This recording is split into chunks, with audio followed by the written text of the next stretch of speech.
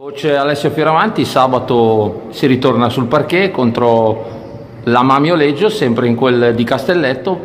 per cercare di strappare due punti.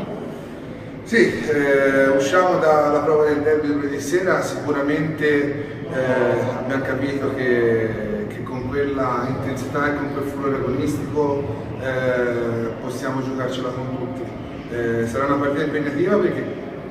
i risultati, gli ultimi risultati de, dello scorso turno ci hanno lasciato penultimi eh, da soli, quindi vincendo riusciremo sicuramente a, a, affiancare Oleggio e poi diventare un po' nel gruppone del, di tutte le altre squadre.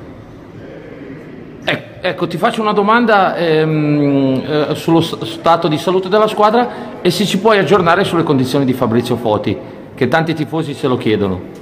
Ma la squadra al momento sta bene, eh, credo si sia vista anche lunedì, eh, è un periodo che riusciamo a allenarci a ranghi completi. Eh, Fabrizio ha iniziato a allenarsi con la squadra, però dobbiamo aspettare ancora un mese per, per, per capire cosa, cosa succederà.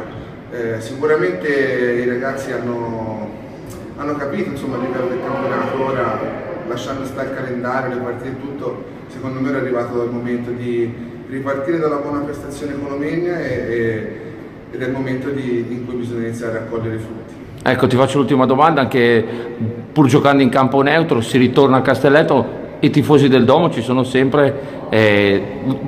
lunedì si sono fatti sentire con la voce non solo. Sì, sì, lunedì era, non riuscivo a chiamare i giocatori in campo, da, da Frastone c'era anche con le, con le, trombette, anche durante il time out era, era difficile farsi capire però sicuramente urlare, per, eh, se, se, urlare deve essere una conseguenza di così tanto calore che, che ci danno, voglio urlare tutte le volte, quindi eh, io mi auguro che sabato, essendo comunque un altro derby, perché Oleggio Domodossola si può definire un altro derby, tanta gente verrà a Castelletto per, per sostenerci. Grazie.